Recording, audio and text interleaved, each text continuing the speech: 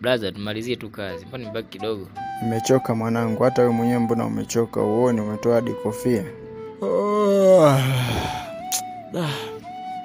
Ngoja na mimi basi nikakae.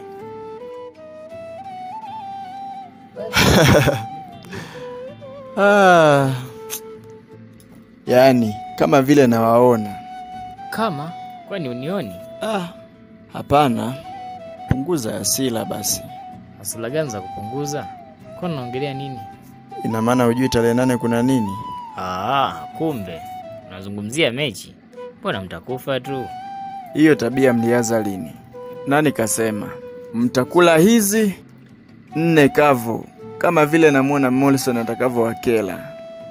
Au wapi? Na timu nyinyi ya kutufunga sisi? Basi tubeti. Mbona Simba mwanangu, unaweka shingapi? Fanya hivi, weka jiwe, mimi naweka mke. Yaani Yanga tukishinda, Maria anakuwa wangu.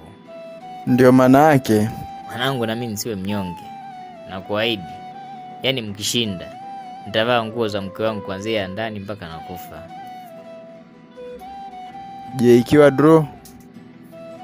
Nitatembea na mke wako mara moja na nitavaa nguo za mke wangu wiki nzima.